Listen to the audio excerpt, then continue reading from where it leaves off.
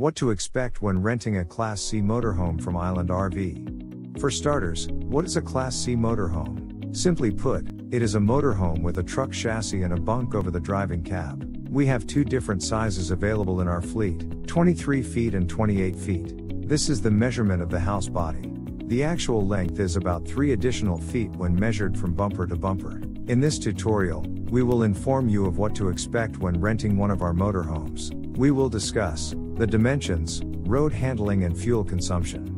We will look at similarities and differences when comparing motorhomes to travel trailers. We will answer common questions about what to expect when camping in one of our motorhomes.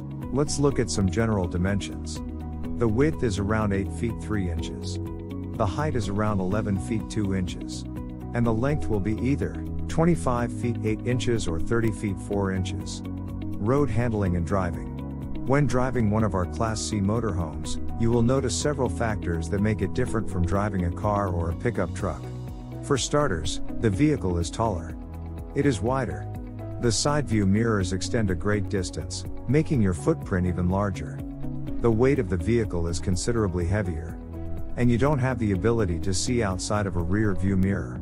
How do these differences translate when driving? You must be aware of low lying overhead objects. Verify when approaching objects or structures, such as branches, power lines, bridges, parkades, and of course, boarding ferry boats. You must verify heights before proceeding if the height is not posted. You may have to stop and look. You will occupy more of the lane than you're used to. Pay closer attention to your surroundings. You will have less room to wander before you begin to depart your lane. Be extra cautious when crossing paths with another wide vehicle. Mirror on mirror contact occurs too often and is avoidable. Turns need to be approached at a wider angle, especially 90 degree right hand turns. When traveling on roads, ensure there is an adequate distance between you and the vehicle in front of you. Due to the additional weight, your stopping distance will be greater.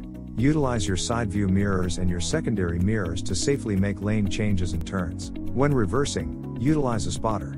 Please review our video on the spotter role. How much gasoline will you consume on your trip? Typically, the motorhome will consume 26 liters of gasoline for every 100 kilometers driven. You can approximate the fuel cost for your trip by multiplying your estimated number of kilometers times the rate of consumption, which is 0.26 liters per kilometer, times the price of gasoline per liter. Total kilometers, multiply 0.26 liter slash kilometers, x, gas price per liter, equals estimated fuel cost. Comparing a Class C motorhome to a travel trailer, Similarities Much like a travel trailer, the Class C motorhome comes equipped with many amenities to make your trip comfortable. You will have access to stovetop burners, a hot water tank, a fridge, a microwave, a toilet, a shower, sinks, a furnace, and an air conditioner. Differences There are some subtle differences when camping in a Class C motorhome versus a travel trailer. You will find the motorhome is drivable, so if you're dry camping, you can travel to empty your waste holding tanks and replenish your freshwater holding tank. The propane tank is built in and requires a gas attendant to refill it at a pump station. Only certain gas stations have this ability. There usually isn't an oven, only stovetop burners. The freshwater tank is a bit smaller at 150 liters compared to 200 liters. The gray tank is considerably smaller and holds about 90 liters. The gray tank is susceptible to overfilling because it is smaller than the freshwater tank.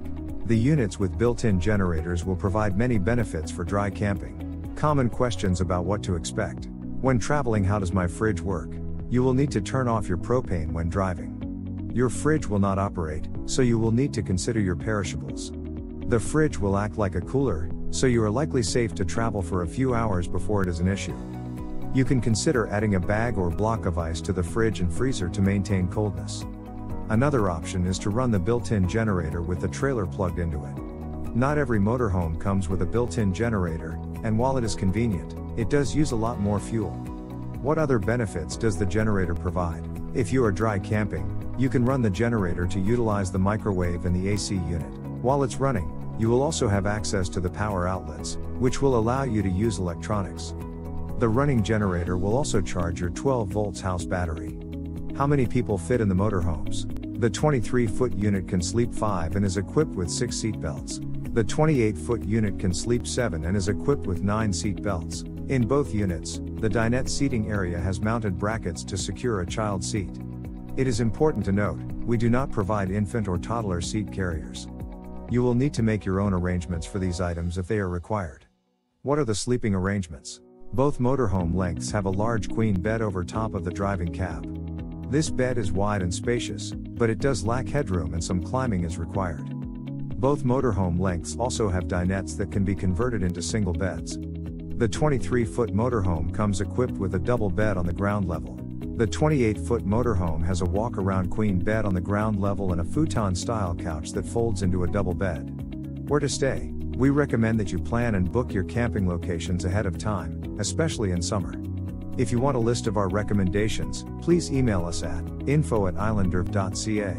If you choose not to stay at a campground, consider these suggestions. Choose a safe location. Make sure you have permission. Choose a level surface. If you are on a hill, the fridge will not function. This tutorial contains many references to Class C motorhomes in our fleet. The numbers and values are meant to be used as an approximation. Please verify when it is important. We look forward to meeting you on your next Vancouver Island adventure. Happy camping! Brought to you by the proud campers from Island RV and RVME.